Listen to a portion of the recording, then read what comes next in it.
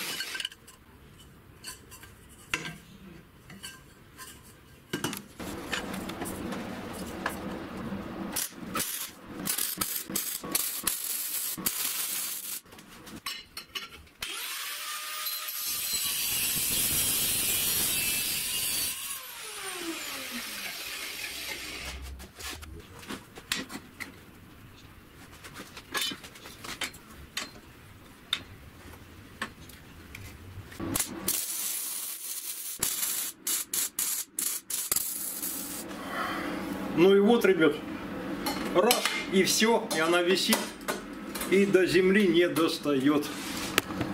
Вот он. Красота.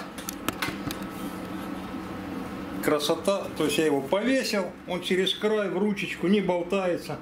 То же самое с массой. Опа, и все. И кончились мои многочисленные мучения с наматыванием, обматыванием, чтобы по земле не болталось и все остальное прочее. То есть, чуть-чуть добавляем по росту и все. То есть осталось что? Зачистить, покрасить. Красота.